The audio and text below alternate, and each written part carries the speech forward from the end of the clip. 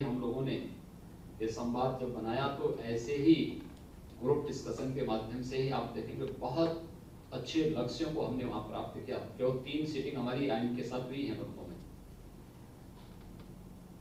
जब व्यक्ति अकेले सोचता है तो स्वाभाविक रूप से व्यक्ति कितना भी ब्रिलियंट हो, लेकिन उसकी क्षमता सीमित होती है।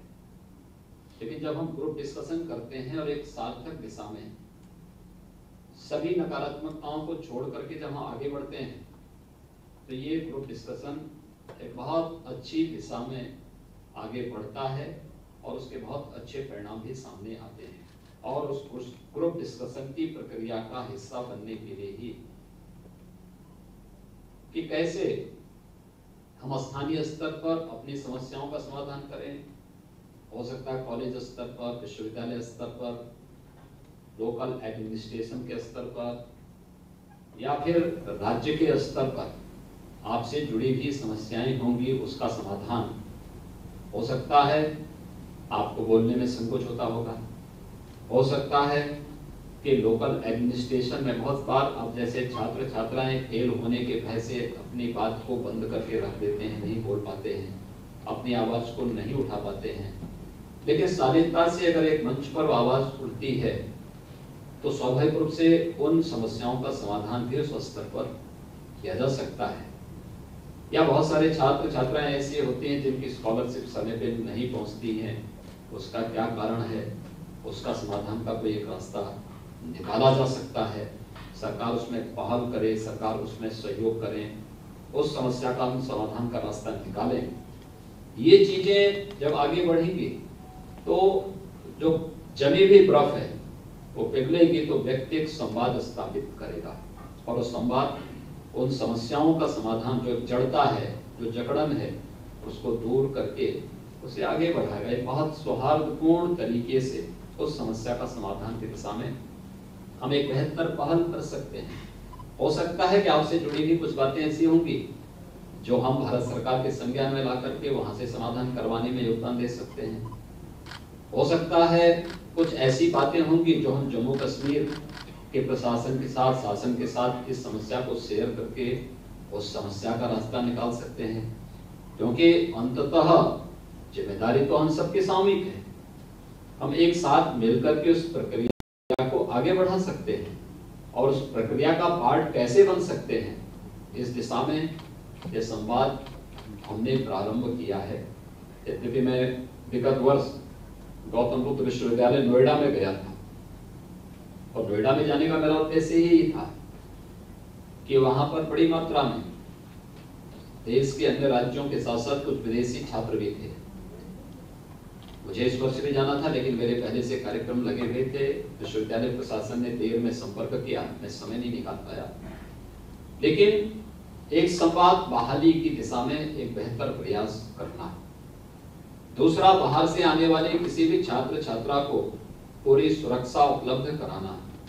उनसे जुड़े हुए इश्यूज़ पर किसी भी स्तर पर कोई लापरवाही न हो, क्योंकि उत्तर प्रदेश में आने वाला हर नागरिक और छात्र हो किसी संस्थान में कार्य करने वाला किसी भी प्रकार का कोई अधिकारी हो या कोई भी कर्मी हो, या फिर यहाँ पर आने वाले किसी भी पर्यटक के लिए सुविधा और सुरक्षा, ये हमारा शासकीय दायित्व ही नहीं, बल्कि एक नैतिक कर्तव्य भी बन जाता है। और उस कर्तव्य की बहाली की दृष्टि हम लोगों ने ये संवाद स्थापित करना प्रारंभ किया है। हम समय समय पर अनेक समुदायों से मिलते रहे हैं। हमने इस इंट्रैक्शन को आगे बढ़ाने की प्रक्रिया को काफ़ी तेज किया है। और आज मुझे प्रसन्नता है कि आपसे संपर्क और संवाद बनाने का एक अवसर मुझे यहाँ पर प्राप्त हुआ है। सबसे पहली बात तो आप लोगों को अपने मन की किसी भी प्रकार की शंका को दूर कर देना चाहिए। मेरे साथ जो भी आपके संवाद बनेंगे, वो पूरी तरह गोपनीय होंगे। मेरे साथ ही सीमित रहेंगे। दूसरा, आपकी कोई लोकल इश्यूज़ होंगे, उसका भी हम समाधान निकालेंगे। हमारा प्रशासन निकालेगा। मैं स्वयं उसमें इंटरवेन करके और समस्या वहीं लोकल स्तर पर समाधान हो सके, इस दिशा में हम लोग एक बेहतर प्रयास करेंगे। इसके अलावा और भी जो इश्यूज़ होंगे, उसके बारे में भी हम लोग बातचीत करके एक बेहतर माहौल बना करके इस प्रकार के इंटरेक्शन को बढ़ावा देने की दिशा में हमारा प्रयास होना चाहिए। आज आप उत्तर प्रदेश में अध्ययन करने के लिए आए हैं। कल हो सकता है उत्तर प्रदेश में किसी प्रशासनिक दायित्व के लिए आपको आना पड़े। उस समय की आपकी भूमिका भी तय होनी चाहिए। आप जब यहाँ पर कार्य करें तो उस दौरान उत्तर प्रदेश के बारे में आपकी सोच क्या हो? और तब वही दायित्व हमारा शासन आपके ऊपर देता है कि भाई बाहर के जितने भी हमारे छात्र छात्राएँ आती हैं, स्टूडेंट्स आते हैं, या जितने भी हमारा बाहर का टूरिस्ट आता है या बाहर से आने वाला कोई भी ऐसा व्यक्ति जिसको उत्तर प्रदेश में किसी प्रकार की कोई समस्या न हो, इसके बारे में इंटरेक्शन का दायित्व आपको दिया जाए, तब आप अपनी इस भूमिका को कैसे निर्वहन करेंगे? इस बारे में मुझे लगता है कि हम सबको यहाँ क्या कहीं भी आप कार्य करें, ये दायित्व कभी भी आपके ऊपर आ सकता है। उसके लिए ये प्रयास हमारे स्तर पर प्रारंभ होना चाहिए। हम एक लोकतांत्रिक समाज में रह रहे हैं। और लोकतांत्रिक समाज में जब हम रह रहे हैं तो हमें इस बात को ध्यान में रखना होगा कि संवाद इसका सबसे बड़ा माध्यम हो सकता है। सबसे बड़ा माध्यम हो सकता है। और सबसे बड़े माध्यम की दृष्टि हम लोगों को एक नए सिरे से प्रयास किए जाने की आवश्यकता है। दूसरा, हम इस बात को ध्यान में रखें कि लोकतंत्र का मतलब वास्तव में क्या है? कैसे हम, देखिए, हमारे जीवन में खुशहाली तभी आनी है जब विकास होगा। हम स्वयं को कैसे विकास के साथ ढाल सके और विकास की उस प्रक्रिया का हिस्सा हम सब कैसे बन सके। क्योंकि उसका कोई दूसरा विकल्प नहीं हो सकता। एक आम नागरिक को अपनी बुनियादी सुविधाएँ चाहिए, उसको सुरक्षा का बेहतर वातावरण चाहिए उसको रोज़गार और नौकरी की गारंटी चाहिए। और उसके सामने एक अच्छे भविष्य का जो सुनहरा सपना है, वह स्पष्ट दिखाई दिया जाना चाहिए। इस दिशा में हम सब मिलकर के एक बेहतर पहल कर सकते हैं। उस बेहतर पहल के दिशा ही आज ये प्रक्रिया यहाँ पर प्रारंभ करने का एक प्रयास प्रारंभ हुआ है। मुझे प्रसन्नता होगी कि आप में से सभी छात्र अपनी बात को बड़ी शालीनता के साथ यहाँ पर शेयर कर सकें। राज्य सरकार के स्तर पर या फिर किसी भी अन्य स्तर पर, हमारे स्तर से जुड़ी हुई जो भी समस्याएँ होंगी और राज्य सरकार या हमारा लोकल प्रशासन उस समस्या का समाधान करने के सामने एक बेहतर पहल आगे बढ़ाएगा। दूसरा, इस बात को हम देखें कि अगर एक व्यक्ति किसी बात को कह दिया है तो रिपीटिशन करने की बजाय कोई दूसरा सुझाव हो, हम उसको दे सकते हैं। या अगर किसी ने कोई बात कह दी है, किसी को अच्छी नहीं लग रही है, उसमें शांत रहें। वो अपनी बात अलग से, अपनी बात को दूसरे तरीके से अपनी बात को रख सकता है। लेकिन खंडन मंडन करने की बजाय अगर हम लोग अपनी बात को रखेंगे तो एक बेहतर माहौल हमारा बन सकता है। उस प्रक्रिया को हम आगे बढ़ा सकते हैं। एक उसी प्रक्रिया को आगे बढ़ाने के लिए आज मैं एक बार आप सबको यहाँ पर आमंत्रित किया हूँ। मुझे प्रसन्नता है कि आप सब यहाँ पर आए हैं। एक नया सिलसिला बना है। नोएडा, ग्रेटर नोएडा में तो हम लोग, मैं ये सब देख रहा था लगभग पाँच हज़ार से अधिक बच्चे हैं जो जम्मू कश्मीर से, नॉर्थ ईस्ट से, देश के अन्य राज्यों से और विदेशों से भी वहाँ निवास करते हैं। मैंने वहाँ के लोकल एडमिनिस्ट्रेशन से कहा है कि इन सभी बच्चों के साथ एक बार बैठने का कार्यक्रम मैं स्वयं ही नोएडा में बनाऊँगा। नोएडा में उनके साथ हम बैठेंगे। उनके कोई इश्यूज़ हैं लोकल स्तर पर तो उसका समाधान वहीं पर लोकल एडमिनिस्ट्रेशन को उसका तत्काल समाधान करना चाहिए। बड़ी संख्या में गाजियाबाद में भी बच्चे हैं। अलीगढ़ में भी बच्चे हैं। कुछ लखनऊ में भी हैं। प्रदेश के अलग अलग स्थानों पे प्रयागराज में हैं वाराणसी में भी हैं उन सभी के साथ भी हम लोगों ने इंफेक्शन की कार्रवाई प्रारंभ की है। आज आप सब यहाँ पर आए हैं।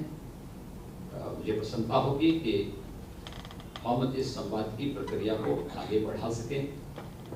और समय समय पर एक अच्छी सोच के साथ एक अच्छे भविष्य के लिए विकास की प्रक्रिया के साथ स्वयं भी जोड़ने के लिए हम सबको आगे बढ़ना चाहिए। यही मेरा उद्देश्य था और इसी उद्देश्य से मैंने आप सबको आज यहाँ पर आमंत्रित किया है। हम अपनी बात को रखने में कोई संकोच न करें और पूरी शालीनता के साथ अगर अपनी बात को कहेंगे तो मुझे लगता है कि एक अच्छी दिशा में एक बहस और एक प्रक्रिया आगे बढ़ पाएगी। सबसे पहले तो आप लोग लखनऊ में आए होंगे। लखनऊ में आपको कोई परेशानी तो नहीं हुई. खाने की व्यवस्था रहने की व्यवस्था सब?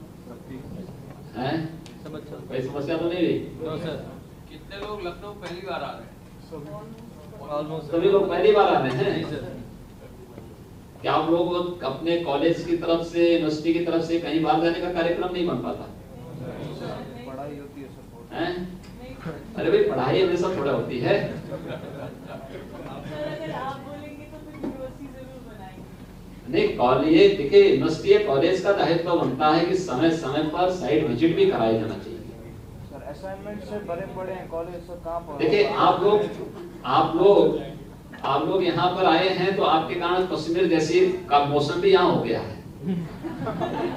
ऐसा ही मौसम है तो कश्मीर ही यहाँ पर भी हो गया इसलिए सबसे पहली बात तो ये है कि मैं भी था नहीं मैं मुंबई से आ रहा हूँ आज सुबह ही। कल मैं मुंबई में था मुंबई से कल रात्रि को दिल्ली पहुँचा हूँ दिल्ली से फिर अभी आया हूँ। तो मैंने यहाँ पर अधिकारियों से कहा था कि मैंने कभी देखो बाहर से लोग आएँगे कोई समस्या ना हो। लेकिन कॉलेज एडमिनिस्ट्रेशन को और विश्वविद्यालय को भी देखना चाहिए कि समय समय लगने दे। मैंने कहा सभी लोग आई में ही जाएँगे। क्योंकि हर एक चीज़ का अपना वातावरण होता है। और वहाँ पर जाकर के जो स्थिति पैदा होती है, उसका एक अपना अलग माहौल होता है। मैं जानता था, पहले मैंने रखा था कि पहली बैठक हम लोग आयन में करेंगे, दूसरी बैठक यहाँ पर करेंगे। लेकिन मैंने कहा, मैं जब यहाँ बैठक करूँगा तो कोई ना कोई मंत्री फ़ोन के बहाने बाहर निकलेगा। और फिर मंत्री तो मंत्री है। ऐसे प्रशासनिक अधिकारियों के साथ भी है। तो हमने कहा, सबको आयन में ही जाओ, वहीं क्लास में सब लोग एक साथ बात करेंगे। और आश्चर्य करेंगे, प्रतिदिन, प्रत्येक सिटिंग में 11 से 12 घंटे सभी लोग वहाँ बैठे थे। और बहुत अच्छे वातावरण में हम लोगों ने प्रदेश के विकास की बहुत ठोस कार्य योजना के साथ हम लोग आगे बढ़े।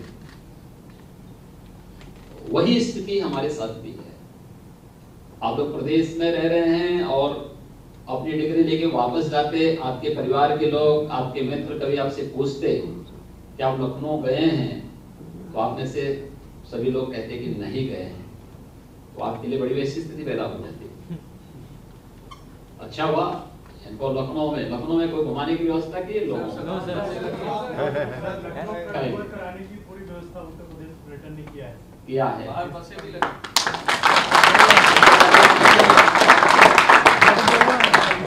ये विश्वविद्यालय और जो कॉलेजेज हैं, उनको भी कई सप्ताह में नहीं तो महीने में एक बार कराना चाहिए। तो उनके नॉलेज का हिस्सा बनता है। लेकिन जितनी चीज़ें हैं, व्यक्ति थ्योरी के रूप में पढ़ेगा, उससे ज़्यादा ज्ञान उसको साइट विज़िट करने से होगा। अगर उन्हें अलग अलग स्थानों पर ले जाने की व्यवस्था इनको की जानी चाहिए समय समय पे की जानी चाहिए। खासतौर पर जो हमारे ये संस्थान हैं, इन सबको इसके बारे में सोचना चाहिए और उसके बारे में एक कार्य योजना बननी चाहिए कि अलग अलग स्थानों पर इन्हें ले जा करके महीने में अलग अलग ग्रुप को अलग अलग जगहों पर ले जा करके एक इंटरेक्शन भी किया जाना चाहिए। मैं एक इंस्टीट्यूट का एक इंस्टीट्यूशन से जुड़े हुए छात्र छात्राओं का, दूसरे इंस्टीट्यूशन से जुड़े हुए छात्र छात्राओं के साथ, एक विश्वविद्यालय का, दूसरे विश्वविद्यालय के साथ इंटरेक्शन के कार्यक्रम बनने चाहिए। और ये अच्छा होगा। लखनऊ में भी लोगों को एक बार विज़िट करा करके लखनऊ भी दिखाया जाना चाहिए अलग अलग जगह दिखाना चाहिए। ये लोग जाएँ, देखें कैसे विकास की प्रक्रिया के साथ ये लोग भी आगे बढ़ सकते हैं। और बहुत सारे इनोवेटिव आइडियाज़ इनके पास होंगे। हम उस, का लाभ भी ले सकते हैं। नए लड़के हैं, नौजवान लड़के हैं, नई सोच के साथ आगे बढ़ रहे हैं। बहुत सारी चीज़ें लोग नए आइडियाज़ दे सकते हैं। मुझे बहुत प्रसन्नता है आप सबसे मिलकर के। तो एक तो इसके बारे में, यहाँ पर लोग, यहाँ लखनऊ में तो हम इसकी व्यवस्था कराएँगे, लेकिन हम लोग प्रयास करेंगे कि आपके कॉलेज और आपका जो विश्वविद्यालय है, वह भी समय समय पर इस प्रकार का अरेंजमेंट करते हुए साल भर में कुछ अलग अलग स्थानों पर साइट विज़िट की तैयारी करें। आप में से कितने लोग दिल्ली में संसद भवन देखे हैं? बहुत कम लोग देखे हैं। फिर संसद भवन तो ले ही जा सकते हैं भाई। लाल किला कितने लोग देखे हैं? लाल किला ज़्यादा लोग देखे हैं, लेकिन संसद भवन कम लोग देखे हैं। दिल्ली में बहुत सारी चीज़ें हैं। उन, वहाँ भी आप लोगों को विज़िट करना चाहिए। आप उत्तर प्रदेश की राजधानी लखनऊ में आए हैं। लखनऊ में बहुत सारी जगह आपको देखने को मिलेंगी यहाँ पर। यहाँ पे जाएँगे, देखेंगे, हैं? क्लास छोड़ने का मौका कहाँ मिलता होगा? बेचारे सब मेहनत करते फाइव देखिए, ये सभी उन परिवारों से जुड़े हुए बच्चे हैं जिनके माँ बाप मेहनत करते हैं। अपना पैसा बचत करके फिर इनके पढ़ाई में लगाते हैं। और अच्छे वेल रिपोर्टेड इंस्टीट्यूशंस हैं या यूनिवर्सिटीज हैं जहाँ पे आप लोग पढ़ रहे हैं प्रतिष्ठित विश्वविद्यालय सिविल सर्विसेज़ की तैयारी कर सकते बहुत अच्छा हो सकता है। जो लोग करेंगे उसका बहुत एक अच्छा अवसर बन सकता है। भाई आप लोग आइए आप लोगों को जाके क्लास देनी चाहिए लोगों को बतानी चाहिए कैसे। ये अवनीश कुमार अवस्थी हैं हमारे एडिशनल चीफ सेक्रेटरी हैं। इस समय ये गृह का काम भी और सूचना का काम भी देख रहे हैं। और आईआईटी कानपुर से पढ़े हुए हैं। So you have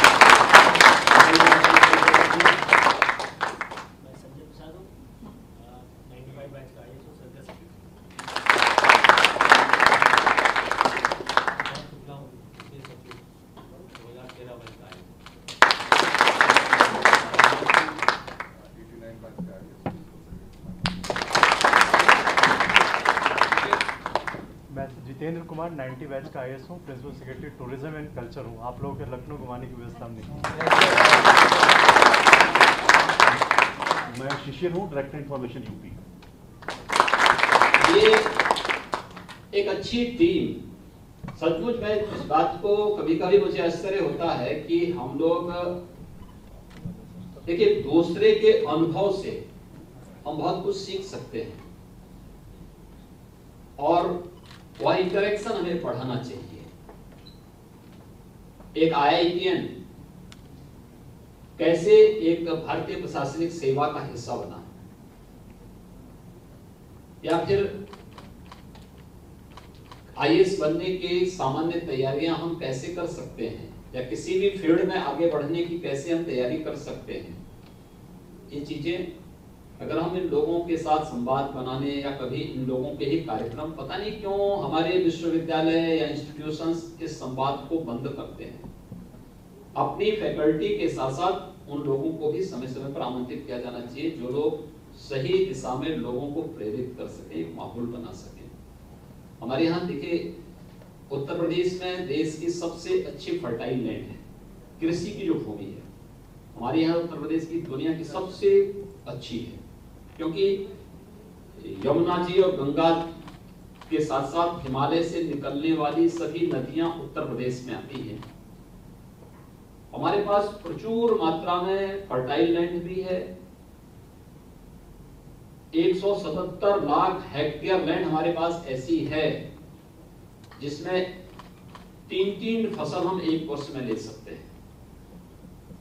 प्रचुर मात्रा में जल संसाधन है।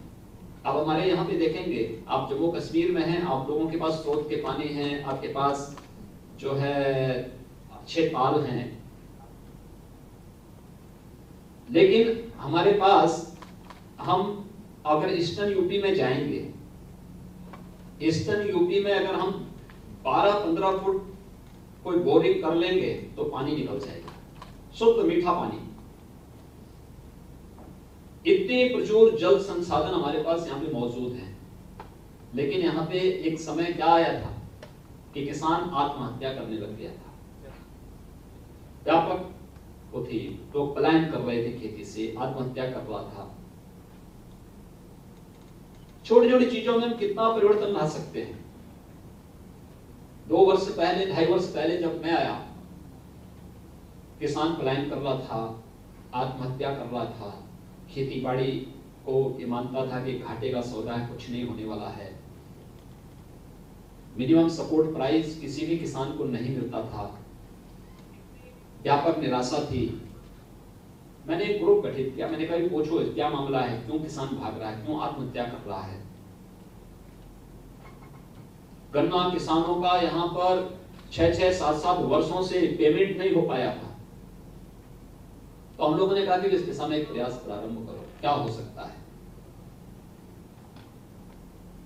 तो स्वाभाविक रूप से किसान की आमदनी को दुगना करने के लिए प्रधानमंत्री मोदी जी ने जो बात कही थी, दुगना होना है। दुगना होगा कैसे? न उसके पास टेक्नोलॉजी है, न उसके पास उन्नत बीज है, ना एमएसपी की व्यवस्था मिनिमम सपोर्ट प्राइस भी हम उसको नहीं दे पा रहे हैं। हमारे यहाँ 75 डिस्ट्रिक्ट हैं यूपी में। 75 डिस्ट्रिक्ट में हमने 69 डिस्ट्रिक्ट हमारे ऐसे थे जिसमें कृषि विज्ञान केंद्र भारत सरकार संचालित कर रही थी। लेकिन कुछ ज़िले बड़े थे, कुछ छोटे थे। हमारे छह ज़िले ऐसे थे जिसमें कोई कृषि विज्ञान केंद्र नहीं था। तो हमने छह के अलावा जो बड़े जनपद थे, उनमें एक अतिरिक्त कृषि विज्ञान केंद्र मांगा इसने, यानी बीस नए कृषि विज्ञान केंद्र भारत सरकार से मांगे। कृषि विज्ञान केंद्रों को किसानों के साथ जोड़ा क्योंकि हर कृषि विज्ञान केंद्र में छह से लेके दस तक एग्रीकल्चर फ़ील्ड के विशेषज्ञ हैं। उसमें एग्रीकल्चर का भी विशेषज्ञ है वेटनरी साइंस का भी है हॉर्टिकल्चर का भी है वेजिटेबल का भी है अलग अलग अलग अलग फ़ील्ड के 10 से लेके 12 विशेषज्ञ वहाँ पर मौजूद थे, लेकिन किसी का उपयोग नहीं होता था। वे वेतन लेते थे, लेकिन सब अपने घरों में आराम करते थे उन्हें कहीं और जगह अटैच कर दिया गया हमने कहा कि नहीं भाई, कृषि विज्ञान केंद्र से जुड़े हुए विशेषज्ञ वहीं पर कार्य करेंगे। और उन्हें एक टास्क दे दिया कि उस ज़िले के सभी किसानों की मैपिंग करके सर्वे करिए मैपिंग करिए, फिर उनके निश्चित प्रशिक्षण की व्यवस्था, उसे अच्छी तकनीक कैसे दी जा सकती है। हम लोगों ने उस तकनीक के साथ उन्हें जोड़ने की कार्रवाई प्रारंभ की। वो प्रक्रिया आगे बढ़ी। उसके बाद कृषि विज्ञान केंद्रों को अपने कार्यक्रम को आगे बढ़ाने के लिए कृषि विश्वविद्यालयों के साथ जोड़ना था। हमारे पास यूपी में चार कृषि विश्वविद्यालय स्टेट गवर्नमेंट चलाती है। एक निजी क्षेत्र का कृषि विश्वविद्यालय है जिसको सरकार फाइनेंस करती है। और दो सेंट्रल गवर्नमेंट कृषि विश्वविद्यालय यूपी में चला यानी सात कृषि विश्वविद्यालय थी, इन सबकी जवाबदेही तय करती कि सभी लोग मिलकर के कृषि विज्ञान केंद्रों को अपने साथ जोड़ेंगे और उस प्रक्रिया को आगे बढ़ाएँगे। ढाई वर्ष के अंदर हम लोगों ने अकेले गन्ना किसानों का सेवेंटी फोर थाउज़ेंड करोड़ रुपए का गन्ना मूल्य का भुगतान कराया है। आप सोचिए, किसानों को समय पे भुगतान मिल जाना। कोई किसान धरना प्रदर्शन आज के दिन पे नहीं कर रहा है। प्रोक्यूरमेंट की पॉलिसी बनाई। किसान उत्पादन करेगा, हम उसको खरीदेंगे। या तो मार्केट में उससे अच्छा दाम मिले, नहीं तो सरकार उसे खरीदेगी। हमने इस प्रक्रिया को आगे बढ़ाया। आज परिणाम क्या है? कि देश के अंदर खाद्यान्न उत्पादन में उत्तर प्रदेश नंबर एक पर है। जो पीछे उत्पादन में उत्तर प्रदेश नंबर एक पर है। आलू उत्पादन में नंबर एक पर है। आम उत्पादन में नंबर एक पर है।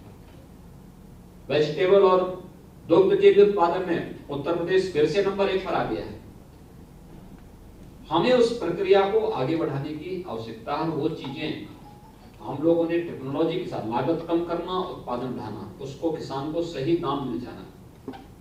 ये चीज़ें आगे हो सकती हैं, बहुत बेहतरीन कार्य इसके माध्यम से किया जा सकता है। अलग अलग फ़ील्ड में बहुत सारी संभावनाएँ हैं और उत्तर प्रदेश के बारे में जो मैंने आपको पहले बताया कि ये संभावनाएँ उत्तर प्रदेश के अंदर हैं, इसको हम आगे इस रूप में बढ़ा रहे हैं। ऐसे ही निवेश के लिए। भाई, हमारे तेईस करोड़ की आबादी है। अब 23 करोड़ की आबादी में हमारे पास मैन पावर तो है, लेकिन उनकी स्किल डेवलपमेंट की आवश्यकता थी। कैसे हम उसे आगे बढ़ा सकते हैं? सरकारी नौकरी इतनी नहीं दे सकता कोई कि एक वर्ष में दो करोड़ लोगों को नौकरी दे दे। हम लोगों ने यहाँ निवेश बढ़ाया। निवेश के लिए बहुत अच्छे सुरक्षा का वातावरण चाहिए, शांतिपूर्ण माहौल चाहिए, लोगों को उसके लिए एक पॉजिटिव थिंकिंग चाहिए। हम उस प्रक्रिया के साथ उन्हें जोड़े। पिछले ढाई वर्ष के अंदर, प्रदेश के अंदर हम लोगों ने दो लाख करोड़ रुपए से अधिक का निवेश कराया, निजी निवेश। दो लाख करोड़। आपके नोएडा, ग्रेटर नोएडा में सैमसंग अपना सबसे बड़ा मोबाइल फैक्ट्री लगाया है। आप अनुमान कर सकते हैं कि इतने बड़े निवेश ने नौकरी भी दी और रोज़गार भी दिया। यहाँ पर जो पहले से ही जो एमएसएमई के छोटे छोटे क्लस्टर थे, उन्हें डेवलप करने के लिए हम लोगों ने अपनी कार्रवाई बढ़ाई। उसने यहाँ पे लोगों को रोज़गार भी दिया और आर्थिक स्वावलंबन की ओर अग्रसर भी किया। ये प्रक्रिया इसी प्रकार से आगे बढ़ रही है। मुझे लगता है कि वो चीज़ें हम लोग आगे बढ़ा सकते हैं। और मुझे बहुत प्रसन्नता है